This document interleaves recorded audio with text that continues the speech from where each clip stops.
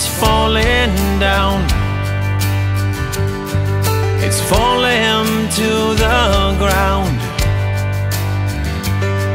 So stand up for what you believe in. Stand up. Hello, everybody. It is Rick from rickskeens.com. For more information on affiliate blogging, online marketing tips, head on over to my blog and check it out, rickskeens.com.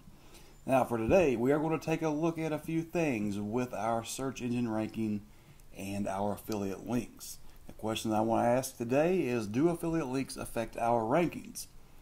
the answer to that is yes. Google Stormtrooper and link building Nazi Matt Cutts announced at a conference that affiliate links can get you penalized.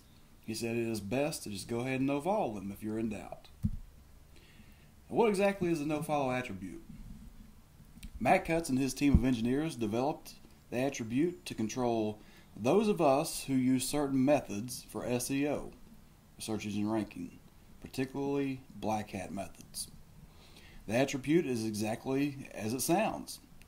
It instructs Google crawlers not to follow the links. Other search engines such as Yahoo and Bing also respect the attribute as well. How can we fix the problem? In order to keep Google crawlers from following the links out to see where they go, we need to implement the nofollow attribute. It's a simple fix. All we have to do is insert a rel equals nofollow on the A tag.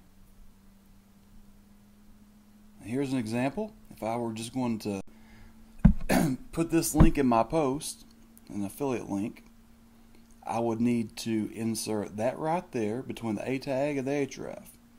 And that will stop search engine crawlers or Google crawlers from following that link out to see if it's a sales page or if it's um, you know something something like that. Google crawlers are very smart. Search engine crawlers are very smart, uh, particularly Google, and they know exactly what these things are that we're linking to. So if we just don't want to get penalized um, for an affiliate link being in our post or on our website, that's what we need to do. Another thing that you can do, what I prefer to do, is use a WordPress plugin. If you're using WordPress, you can do that. You can actually uh, go here.